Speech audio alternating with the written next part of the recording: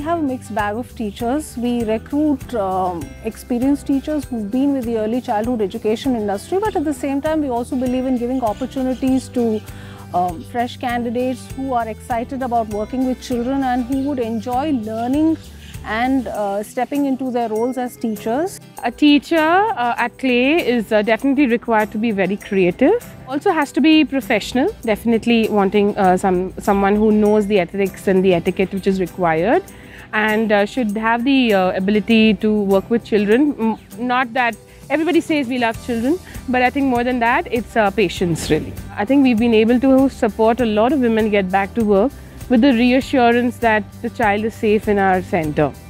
A daycare is the perfect environment for a child because unlike a traditional setups where you had joint families and children could, you know, interact with other adults, other children, pick up things, that those environments don't exist anymore, correct? Which is why daycare is such a beautiful concept. A child gets to be in the company of other children. The biggest pitch, I think so, to parents, especially mothers, is don't be guilty about going back to work. Uh, don't think this is a suboptimal option for your child. This is actually the best option. So I had a five and a half month old baby when I joined Clay.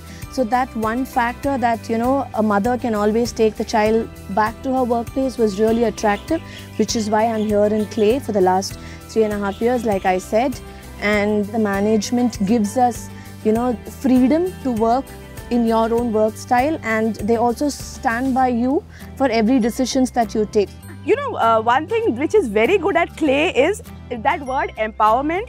It is there at every individual level, whether it is at the level of a center head, whether it is at the level of a teacher, or even at, at the level of a nanny. the vision and mission of the company really appealed to me and i kind of i could identify with it especially the way they allow you to independently handle uh, centers and take decisions they do not micromanage you which is something which i really liked in this company to sum it up i would say clay is the best launch pad if you're looking at the career option in early childhood education